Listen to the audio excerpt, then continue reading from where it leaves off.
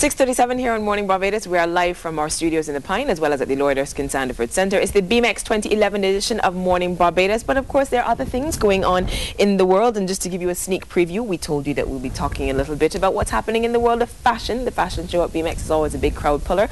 But one of the things that I noticed uh, coming up in the news, as you would know, I host a blog on the HIV AIDS work that the Caribbean Broadcast Media Partnership on HIV Is doing. And we've scored a major milestone. The UN and the US government have launched an initiative initiative to eliminate HIV among babies by 2015. The world and the United Nations is taking notice. Uh, that's just one of the other things happening in international headlines. But for right now, we're going to take a very short break.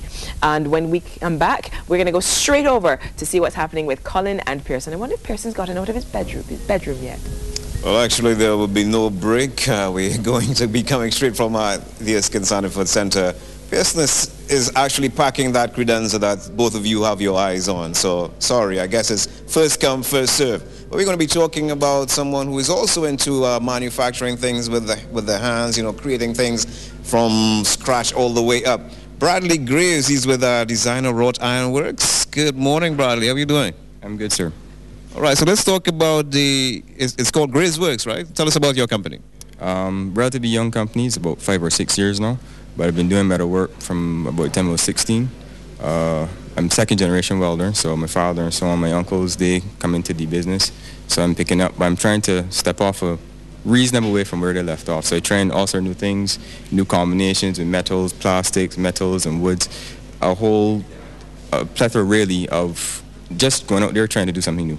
It's fascinating that you said you, it's in the family, but were they also making uh, stuff, or they were just welding commercially, or just doing welding? Were they also into manufacturing stuff? Uh, very much so. They were pretty much one of the early set to begin in metalwork, especially decorative. So I'm taking from where they left off and putting in another realm, really. Well, you just give us an insight into how wide you want to take this. So tell me, if I need something and I have, a, I have an idea in my head, I can come to you and sit down and talk with you and you can build me whatever I'm, I'm dreaming of? Um, that's exactly what I'm looking for. Um, I prefer the one-on-one time with my client so that they can talk with me. I like to make my work to suit them, to suit what their needs are, to suit especially their temperament. So according to how you are as a person, I try to cater. So some people are a little more linear, some people a little more elaborate. So I cater to suit, and that is really what I'm seeking to do. I'm, I'm, I'm wondering how difficult it is because, you know, we're dealing with metal here. So how difficult it is. I mean, I might come up with something really whimsical. Do you have, have ever have to say to a client, okay, maybe that may not work? Um, to, I, I try hard not to say no. Uh, according to circumstance, I would try anything once, really. Um, but it's really the interesting ones, the ones that are more challenging. One, they, they impress on my mind, and that's where I get my energy from. But really, those are the ones that really are outstanding. Everyone can do something very simple, but I try to step out of the box somewhat. So it's that sort of client I'm really looking for. All right, we will talk a little bit more about some of the work that you've done. I think we have some pictures which we may be able to show on screen. But before we get there, where you located, how can people find you, that sort of thing? Um, we operate on the West Coast in St. James, is Prospect. Uh, my telephone number is 249-1626. Uh, you can also get me at gravesworks at gmail for any emails, any comments, feel free. All right. Yes, I understand that the footage is running of some of your work. What is what is one of the most difficult pieces that you've had to create? Um, at one point, we were asked to make a table for a hotel. It was one of a kind. They could even take pictures of it. They want to keep that unique feel. So that that took some doing. They had that was a while back, but that that was a lot of different things went into it. The element, which is like um, patterning after plants, the leaf work it was very grueling. It had metal work. We had to torch work, which is going back to blacksmith work. It really took some doing. It took at least a week and a half with three guys doing it. Well, when you said that, I thought you were going to say it took like months. But uh, I guess that is one of the things about Graves work, isn't it? Is that you can have one-of-a-kind pieces. If once you can dream it up and you can come to you and you can get that done. That's exactly it. That is it exactly. And uh, how far do you want to go? You, you mentioned the fact that you've begun exploring other mediums, you know, bringing in plastics and that sort of thing. How does one combine the two, like metal and plastic? Well, it's a matter of where your mind can open up to. So it's a matter of what you want. The different finishes you can do from uh, antique finish, you can do contemporary. It's a matter of mixing and matching. It sounds very basic like that, but that's what it is. You take an idea and you try it this way. You could toy with it this way. Everybody's different, and they try to cater for what people want. All right, we're looking at some of your pieces on screen there. Where are you located in BMEX? Uh, this is G67 in the construction aisle. Right. All right, so what is your father saying about your work that you see? Is he saying, man, I could have done that? very early up, he said a lot of work that I would be doing, he wasn't even going to take on. I've really gone past what he used to do. That's the quite honest truth. All right, so check them out. It's Bradley Graves. He's right here in G, G, G67 here at BMEX. And Pearson has found another guest, so let's go over the Pearson. Thank you, Colin. 67 is not a bad number. It's a great year, as a matter of fact, for those of you who are into vintage wines. Look at me. I'm still going strong. Well, I have with me John Hunt, who is the coordinator of the Fashion Pavilion here at the BMEX. And you know, when it comes to BMEX, fashion is really the rave every evening. Good morning, John. Good morning, Pearson. Now, we are counting down. We're almost to it now. Is everything ready? Everything will be ready. Um, you know, there's always a last minute model changes, um, fittings that have to take place, but we, we're gearing to go on tomorrow. From tomorrow you start? Yeah, from tomorrow, Saturday, we start off with the On the Boardwalk um, fashion show, which features the designers who actually have booths in the um, in the pavilion. So we have um, Dollhouse Creations and Angelique Custom Creations showcasing their jewelry. We have Dave Cumberbatch, who's bringing a plus size um, design for plus size women. Mm-hmm. Very plus, very ample, very voluptuous, very beautiful women. you sold us, John. Go yes. ahead. And then we have um, Karen Brathwaite, yes. Cosmic Vibes with her particular line of color fabric and um, silhouettes. And we start off with um, Four Seasons Colonnade, who is not only bringing designs, but she's also bringing costumes. So talk me a little bit about the preparation till now, though, because you've got a whole cadre of models together, designers together. What's been the buzz so far? Well, the buzz is everything is new and fresh. Um, our innovation has been to um, provide an opportunity for new designers and emerging designers to showcase and also to provide opportunity for people who want to aspire to be models.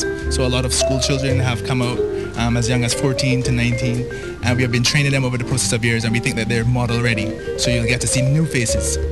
Yes. Where is the Fashion Pavilion, John? The Fashion Pavilion is the flamboyant room. So as you enter the space, you turn right and go down the stairs and there we have your panoramic boardwalk for you to now, see. I know you said to us earlier on Morning Barbados that there's going to be something different about the catwalk this year. Right. So instead of having a normal catwalk going down the center, we have it on the side like a boardwalk. So you just see models walking to and fro as if you're like walking on the street. So it's going to be like tennis. So practice your neck exercises because you're going to be looking this way and that way for like the whole day. And, and as we watch the, the rehearsal uh, that has been going on over the past few days in preparation for tomorrow's first fashion show, uh, will there be a fashion show every night? A fashion show every night. Saturday at 8, Sunday at 8, which showcases the BCC graduates. And on Sunday we have two shows, a 6 o'clock show which features children's um, fashion as well as, as fashion for ladies. And then the finale, which we call It's a Man's World which features men's fashion and you know what men like to watch so women's in swimwear so it's going to be very exciting menswear women's wear yeah. very, exciting. very, exciting. and that's how it all wraps up on monday on monday on monday but every night there's something every for everybody something for everybody right would there be opportunity as well this weekend john for if i saw on the catwalk something that i think i look great in and i'd want to wear would i be able to purchase it right away the designers will be there on hand to interact with the with the public after every show. Mm-hmm. And so you can get in contact with them and possibly even buy some of their stuff. I know that some of the stuff is ready to wear, and so you can buy it right off the model. What do you see as the potential for fashion in Barbados though? I think that we, we have a lot of creativity and a, and a lot of a lot of drive. And I think that we just need to find the right parameters to match that with you know manufacturing and marketing and all those kind of things. And I think that we really need to think about it seriously because I think that's a real opportunity for us to really brand ourselves not only in music but also in fashion. Well, make that a reality for me because if it were John today who had the power with a pen or even the might of his arm to be able to make that transition from just an idea and a desire into something real, what would you start with right away, John? I would want to develop um, a manufacturing plant because when I listen to the designers talk, the, the challenge is not with the designs. Our designs are top-notch, high quality, you know, if you look at what Antonio Cumberbatch brings. But we, we need to bring now the manufacturing to match that. And I think that we need, that's the opportunity for us to really develop the skills that we have here to that level that we can begin to create for ourselves right. and then create for export. So to move from simply doing the little thing at the machine in your house to actually now having an actual building, building. where you churn stuff out. Yes, on a regular basis. All right, so walk us through the designers that we'll see this weekend again. So on the on the Saturday, we're going to see the booth holders. On the Sunday, we're going to see designers such as Jillian Sprott, Alexis Campbell, Roscoe McDonald is coming back with his menswear, and then we're going to showcase the new the newbies at BCC. So we have Ramona McDonald doing her sheep captivity. We have Janelle Green, who is playing with the word nautical bliss. Nice. She's actually showing lingerie, nautical, but not nautical as in sea, I- but I got you. nautical. And then we have um, Annette Harris with her fierce and fabulous line, which she's um, she's highlighting the rally, but she's showcasing them on women. So we're seeing women in racer and racer gear. And on, then on Sunday, we have the children designers like Suzanne Reeves and Kathy Ann Innes, who's joined by Pink Lemonade in Ladies Casual. And um, later in the evening, then we have Graphical and Raj Paul doing t-shirts. Raj is back. Yeah, Raj is back. And um, Cassandra Motley with her chic and sexy swimwear. And then we top it off with Kingsley Thorne, who is He's not, not to normal. be outdone. Not to be outdone. All right. So John, it sounds fantastic. Of course, one price gets you into everything here at the Lloyd Erskine Sandiford Centre for the Fashion Pavilion and all of the exhibitions as well. I wish you well. I'm going to be there every day, so look out for me. Yes, I'm looking out for everybody every day. Thanks, John.